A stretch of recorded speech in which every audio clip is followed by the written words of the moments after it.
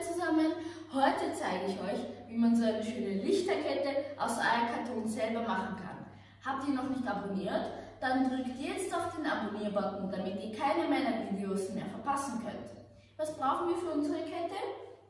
Ganz wichtig, Eierkartons und so eine Lichterkette. Die bekommt man eigentlich ganz günstig. Dann brauchen wir noch eine Schere. Ich verwende gerne eine Nagelschere. Dann verschiedene Farben. Ich habe mich für Acrylfarben entschieden und einen Pinsel.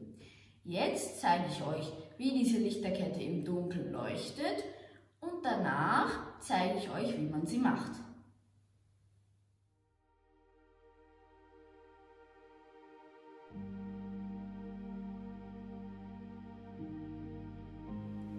Ich habe hier einen Eierkarton und jetzt trenne ich mir diese zwei Teile ab.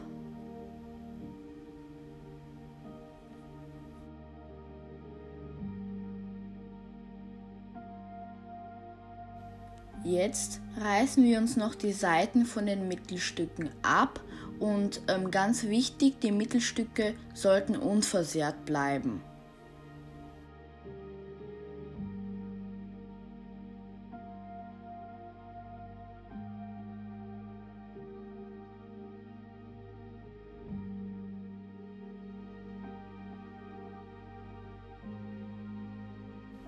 Dann trennen wir uns noch die einzelnen Mittelstücke ab, damit sie dann so aussehen. Man sieht ja hier so eine ründliche Wölbung. An der entlang schneiden wir uns es jetzt von allen Seiten ründlich ab. Wenn wir das gemacht haben, bemale ich mir immer alle zuerst mit weißer Farbe.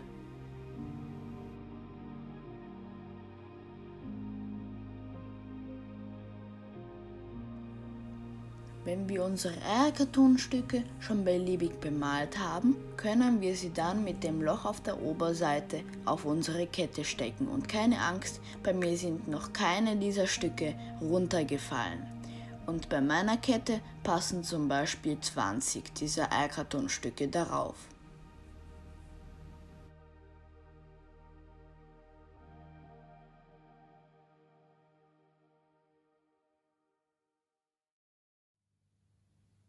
Und wie ihr seht, ich habe die Eierkartonstücke auch von innen bemalt, damit das Licht, wenn die Kette dann leuchtet, auch noch bunt wirkt.